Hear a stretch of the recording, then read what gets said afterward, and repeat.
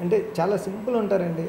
చాలా చిన్న పిల్లోడు టైప్ ఉంటారు ఆయన. నేను క్లైమాక్స్ నేరేషన్ ఇచ్చాను. అక్కడికి వెళ్ళిన తర్వాత కేరళలో నేరేషన్ ఇవ్వడానికి వెళ్తే చెప్తున్నాను చెప్పు అన్నారండి అంటే విజయ్ గారికి ఈ సినిమాలో అసలు క్లైమాక్స్లో ఒక డైలాగ్ కూడా ఉండదండి.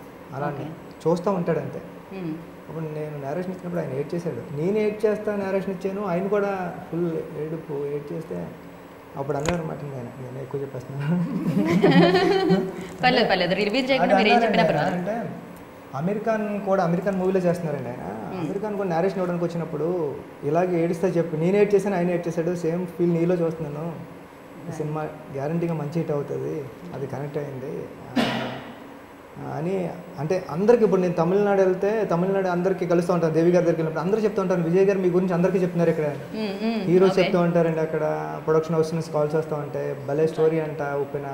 విజయ్ గారు ఎప్పుడు ఇంత అలా చెప్పరు మీ స్టోరీ గురించి చెప్తున్నారు అని చెప్తూ ఉంటారండి. నిజంగా అంటే విజయ్ గారు చాలా బ్యాక్ బోన్ అండి ఈ సినిమాకి.